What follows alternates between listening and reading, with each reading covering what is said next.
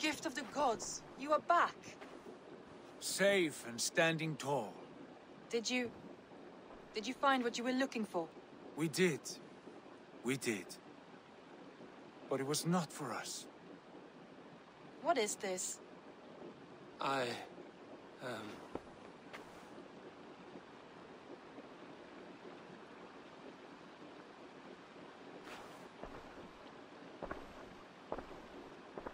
Eivor's returned!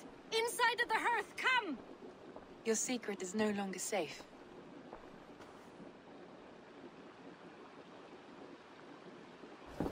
Eivor? Randvi? What is this? Is everything all right? Our Jarl has returned to lead us forward into an uncertain future. Will you speak to your people?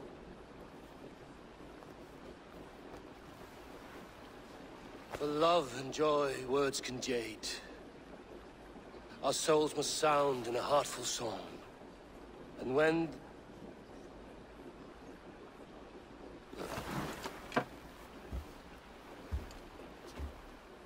You're less mine than I'm yours. And I ask of you only this. Keep me honest in the times to come.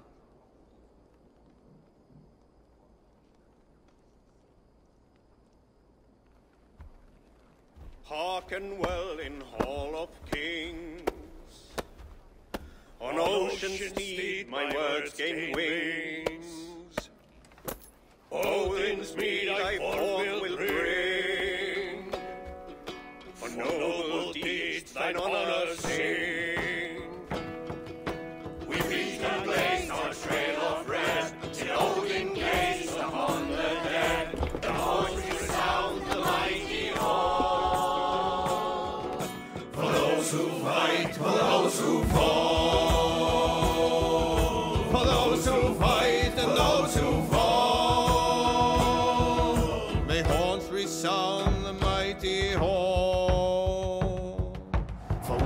who fight, for we who fall.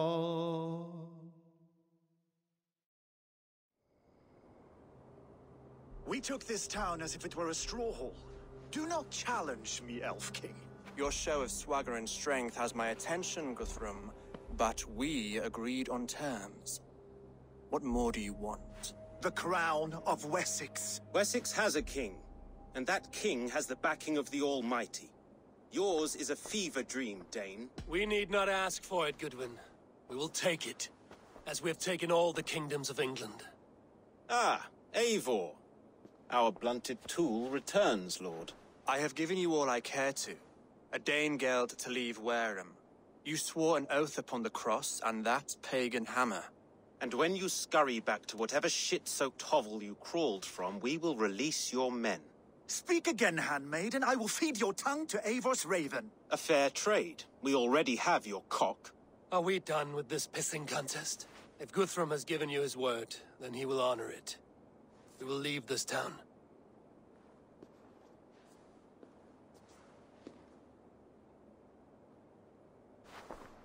You have one day. Do not test the king's patience further, or our men will return to Wareham with force. And if you doubt my conviction, know that the Avon River near Uffentune runs red with the blood of your countrymen. Their commander, what did his men cry as he fell? Ula? Ubba?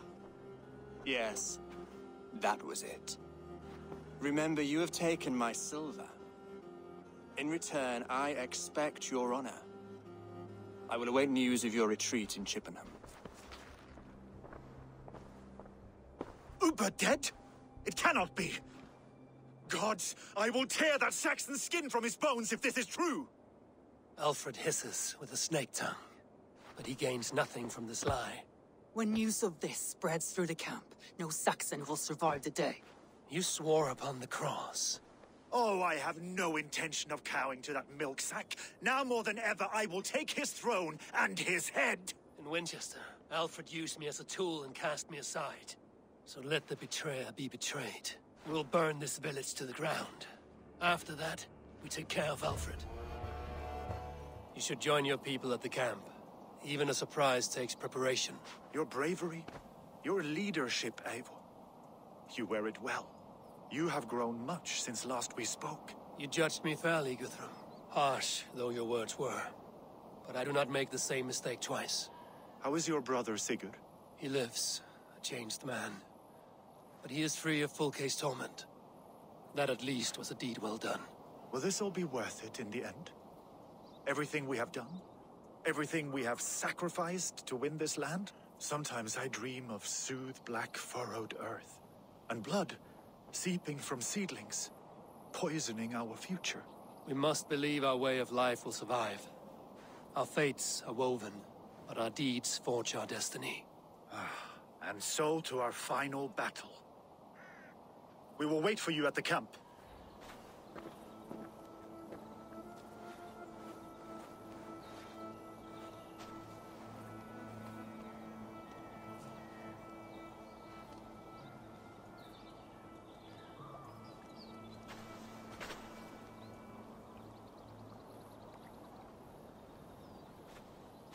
I never thought it possible, Eivor. That you would rally Saxons and Norse under your black-feathered banner. They see the tyranny of this elf king. He would crush them all under heel and plug their hearts with his god. So what is the plan, Eivor? When is their feast day?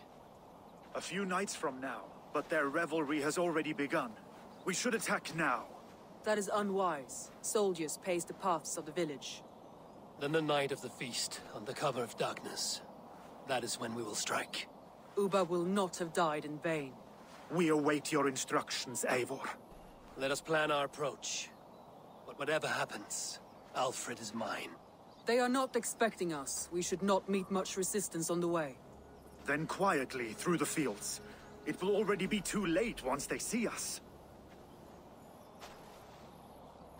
Your young Saxons can be our eyes to the west. Better to keep their soft hands away from the conflict. My scouts reported that a few nobles have arrived for the festivities already. Good. If we capture the Thanes, there will be no danger when I confront Alfred. And we could persuade them to support a new king of Wessex. I will subdue the lords. Take Deolaf and Tefta with you. They could prove useful in convincing the Thanes. Rodin, take Edki and Stowe and capture the garrison. Make quick work of any Saxons that dare cross into the village. Gladly, Eivor. We each know our parts. May they blunt their swords against our might.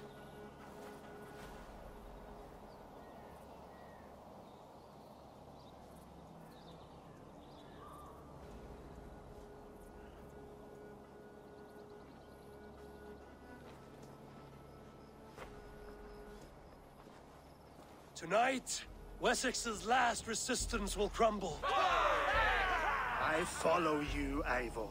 And I! Be ravening wolves and croaking ravens. Stand firm, your axe arms strong, and together, we will win this final battle. And remember, Alfred is mine. Alfred! Face me, and I will spare the last of Wessex my torch. Did you think my king would turn his back on you, Eivor? When your knife is smeared with the blood of Wareham? Stand aside, Goodwin. I come for Alfred. Alfred is long gone. And this good Christian feast, a cup of honey wine, to trap some wasps. Where is he?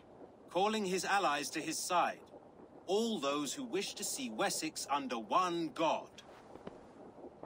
You cannot win England with your sorry crew of deluded farmers and godless fools. At least I wouldn't leave them to die as I scurried through the corn husks like a rat. You have no understanding of duty, the loyalty I freely give. His plan for England, for the world, is worth the cost of my life. Then sing your tuneless hymns. Come, Raven Feeder. Do your worst. You are beaten, Goodwin. Beaten? No, not so. By my death, my lord may live. Alfred used you, fool. He threw you in my path. For what? He only delays what is inevitable. Kill me then. It makes no odds. For here you stand, bloody and breathless, no closer to my king, no closer to his throne. This island will never be your home, Eivor. You will not subdue her with vicious force, or win her with cocksure words. We Saxons will always stand firm, shoulder by shoulder against thieves and tyrants, whose envious eyes fall upon England. If I must strike down all of England to subdue her, let it begin with you. O oh Lord, into your hands I commit my spirit. The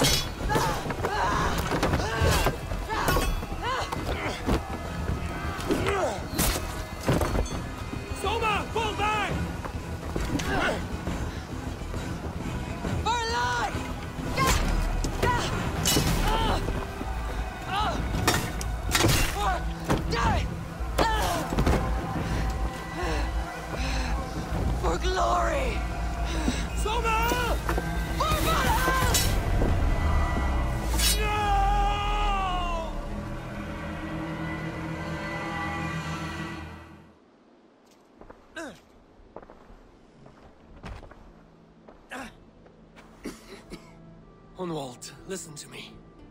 You survived the Battle of Bottleston. Do not let this scratch best you now. I'm so cold. Has winter come so soon? You will warm yourself with mead and dancing yet, my friend. Perhaps not, Eivor. It may be I will sit beside my father soon. Will he be proud of me? He will pull you to his breast. Sob bright words of welcome and... Until you no man ever had a worthier son.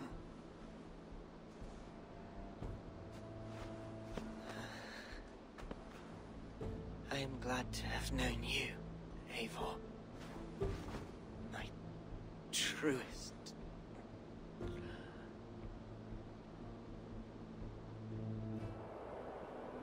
Time to send our friends to their great reward. Will you do the honors? Nothing awaits them.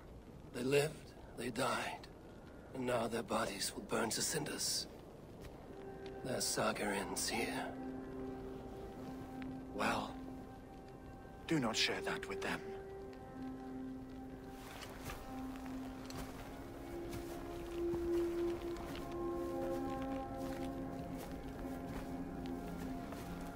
Victory is ours. But it came at a great cost. Soma Jarlskona, who stood at Guthrum's right hand. She will live on in our memories, from now to the end of days.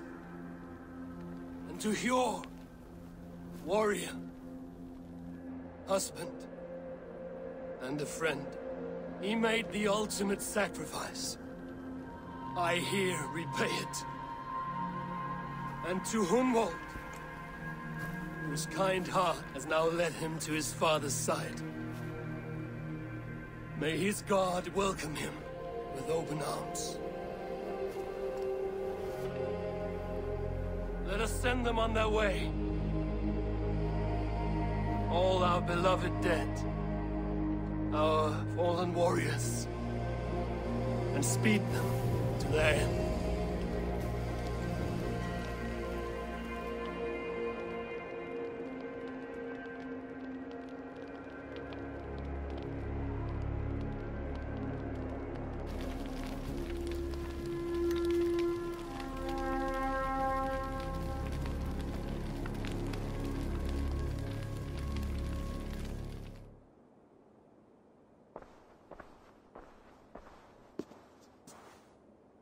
Guthrum.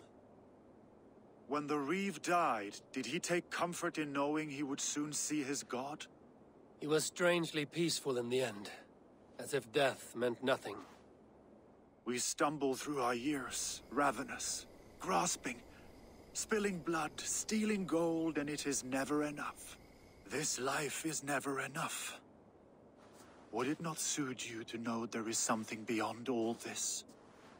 Not war and valor, but quiet and peace? I think... I think the afterlife men hope for is only a reflection of their regret in this life. All I wish for now is to live among the friends I've made. That is what counts. Alfred made me swear fealty upon the cross of their god's son. He held such faith in it. A plain, unadorned thing. It burned between my fingers, as if I had pulled it from the fire. A feeling strange and powerful, but gone in an instant. I have not felt its like before. What will you do now? Whatever I must do. England is my final home, Eivor. And I will do what it takes to remain. I've never been so far west. I find it quite peaceful here. Calming. I've traveled a long way to hear one name, Alfred. Who is the Order's Grand Magister? Tell your shadowy friends that England is swept clean. Your work is done. You? Grand Magister was not a title I desired. It passed to me on the death of my brother. From my father before him. Defilers of God's majesty and grandeur.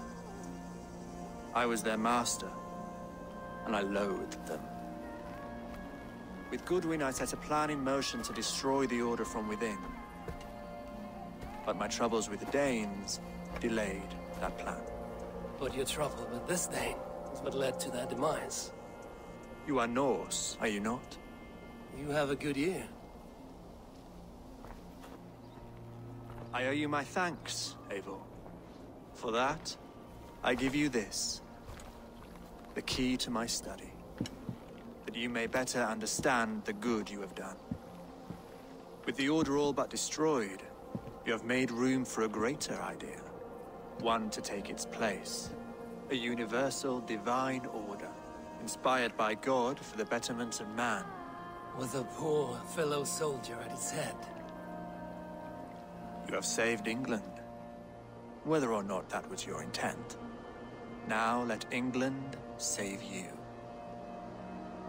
England is no more, Lord. You are the last of her kings. And yet you have no kingdom. Look around you. God's works are wondrous. They cannot be ignored, nor resisted. In time, all those who accept God will flourish, and all those who defy him will fall away. Should you remain in England, you too will one day be her subject. Oh, bloody crumbs! The cakes are burnt! Where is that man? Young man, where have you gone? Damn. That may have earned me a night of washing linens. I do not know if we shall meet again, Eivor. God willing we will. As one lord to another, perhaps. I'm coming, my lady. I'm here.